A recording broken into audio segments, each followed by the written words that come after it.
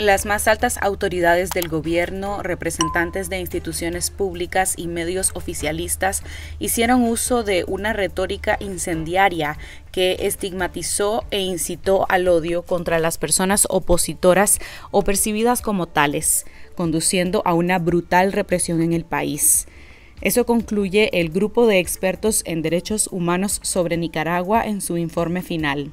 Los discursos de odio fueron parte de una estrategia comunicacional que incluyó la implementación de campañas de desinformación y estigmatización a través de redes sociales, espacios institucionales y medios de comunicación afines al gobierno, detallan los expertos. El grupo valora que las autoridades nicaragüenses desarrollaron un discurso de construcción del enemigo, adscribiendo la responsabilidad por los hechos de violencia a las personas opositoras o percibidas como tales, a quienes tildaron de golpistas y traidoras. Muchas personas también fueron objeto de campañas selectivas de difamación y acoso a través de redes sociales y medios de comunicación pro-gubernamentales, apuntan los expertos. Lea el reporte completo en confidencial.digital.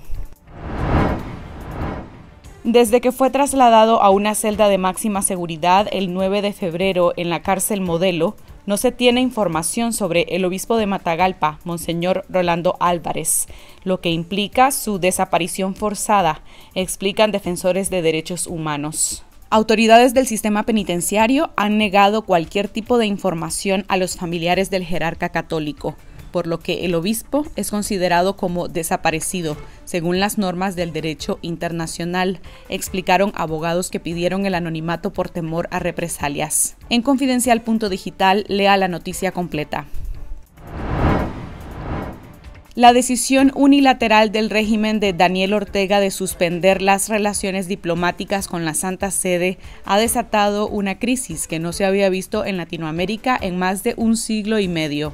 La última vez fue en 1861 cuando México rompió relaciones diplomáticas con el Vaticano, crisis que se agravó con el triunfo de la Revolución Mexicana en 1910 y se resolvió en 1992, dos años después de la visita del Papa Juan Pablo II al país azteca. La decisión del régimen de Ortega se dio después de que el Papa calificó como una dictadura hitleriana al gobierno de Nicaragua y de Daniel Ortega comentó que padece un desequilibrio en entrevista con el medio argentino Infobae. El Ministerio de Gobernación canceló la personería jurídica de la Universidad Panamericana de Nicaragua y la Universidad del Pacífico.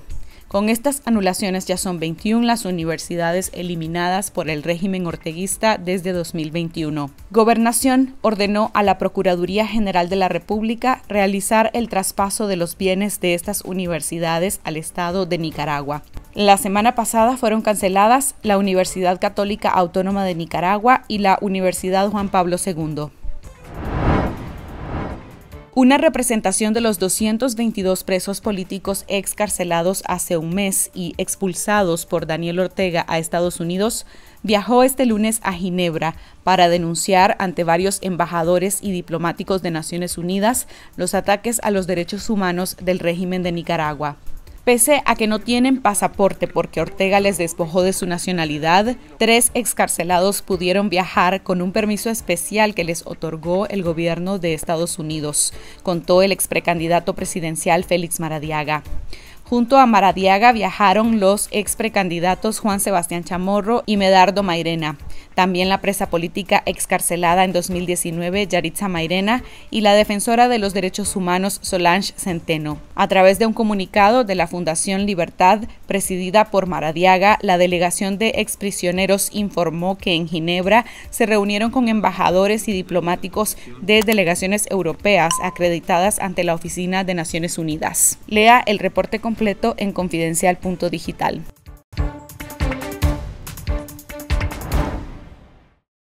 Gracias por ver este video para seguir derrotando la censura en Nicaragua. Si deseas apoyar el periodismo independiente de Confidencial con una donación, puedes hacerlo a través de nuestro canal de YouTube. Lo único que tienes que hacer es ir al chat de nuestras transmisiones en vivo y dar clic en el botón Super Chat. Así podrás agregar tu comentario junto a un donativo. También puedes dar tu aporte en el video que más te guste, haciendo clic en el botón de Super Thanks, ubicado en la barra inferior de todos nuestros videos. Con tu apoyo seguiremos investigando y contando la verdad para informar a nuestras audiencias.